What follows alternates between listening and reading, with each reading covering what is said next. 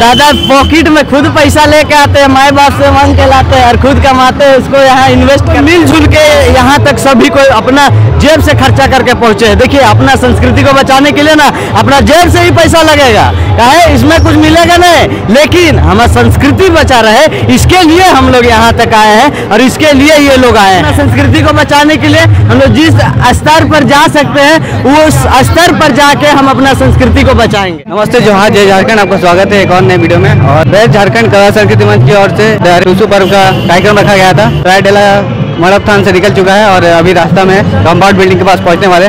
और अंकित नायक जी हमारे साथ में है। दादा जोहार आपका स्वागत है जोहार करते हैं आपका बहुत बहुत धन्यवाद करते हैं दादा।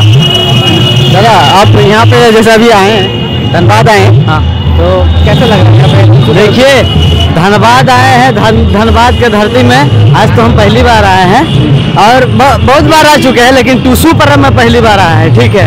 और इसी तरह हमारी झारखंडी भाई लोग जितना है, हर पर्व, त्योहार को अब डहरे टूसू पर्व डहरे करम पर्व डहरे एकदम दिखाना है। कि नहीं हम लोग का संस्कृति हम लोग बचाने के लिए आ चुके हैं। हम लोग संस्कृति दारू हड़िया इस सब में नहीं चलेगा।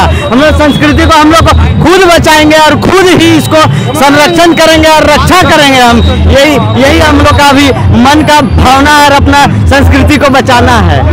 कैसे आए?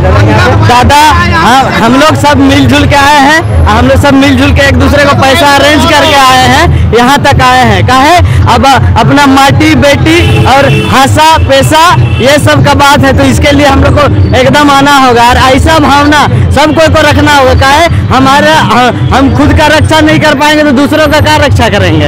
इसलिए अपना संस्कृति को बचाने के लिए हम लोग जिस स्तर पर जा सकते हैं वो उस स्तर पर जाके हम अपना संस्कृति को बचाएँगे। दादा देखने में आ रहा है कि महिला भी बहुत सारे आए हैं लड़, महिला लड़कियाँ बच्चियाँ हाँ। और युवा भी बहुत ज़्यादा पैमाने पे यहाँ पे पहुँचे हैं तो इसका क्या असर है? देखिए?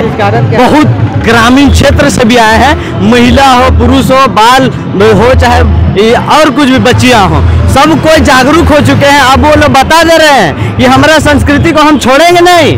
आप कितनों प्रयत्न कर लीजिए, चाहे आप कितनों दबाने का कोशिश कर लीजिए।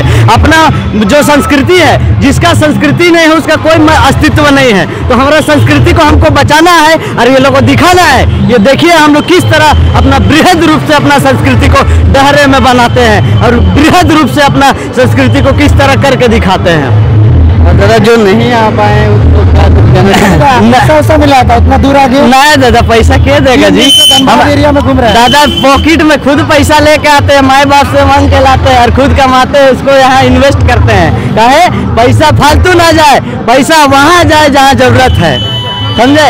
और जैसे कि आपने कहा था कि हम लोग का संस्कृति है और बहुत कोई आए हैं, बहुत कोई देखिए, बहुत कोई को खुद के माध्यम से, बहुत कोई को सोशल मीडिया के माध्यम से, अब बहुत कोई को हॉस्टल हॉस्टल जिधर भी रहते, उसके माध्यम से पता चला और वो लोग आया। अपने मन में कितना भावना है और अपने संस्कृति के प्रति कितना जागरूक है, उसका परिचय देने के लिए आया। और एक जगह से नहीं आए अनेकों क्षेत्र से आए हैं, अनेकों क्षेत्र से आके अपना विराट रूप चट्टानी एकता का परिचय दे रहे हैं। दादा, ये जैसा पर्व मनाया जा रहा है, ऐसा पहले नहीं मनाया जाता था। जब से आंदोलन शुरू हुआ उसके बाद से हर हर त्योहार को बहुत बेहद तरीका से मनाया जा रहा है। क्या असर है? ये आंदोलन का असर है कि लोग अभी जागरूक हुए देखिए, आंदोलन का भी असर है, बहुत कोई जागरूक से देखिए, जागरूक नहीं रहता तो आंदोलन नहीं होता।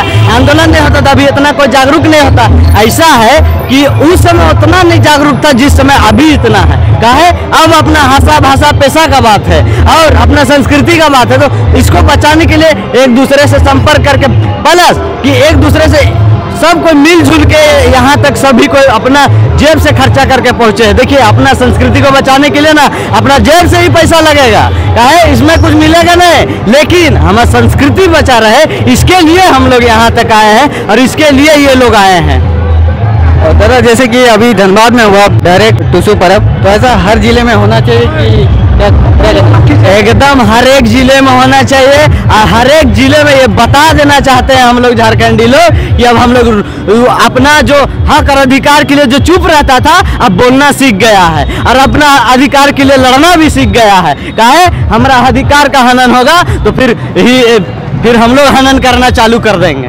आखिरी में कोई संदेश जो आखिरी में यही संदेश देंगे आज जो हम लोग जागे हैं यही जागरूक का भावना रहे और यही आने वाला समय में अगले साल बृहद रूप से करें। यही संदेश रहेगा सभी को जोहार रहेगा। धन्यवाद रहेगा।